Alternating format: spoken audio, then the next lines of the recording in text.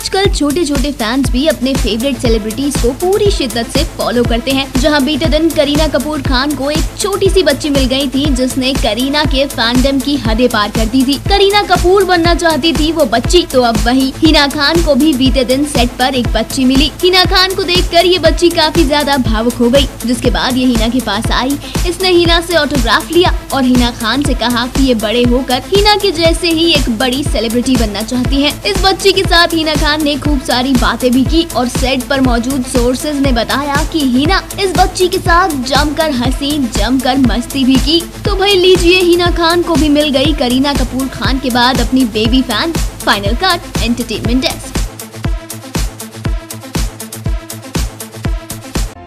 Subscribe our channel for more updates.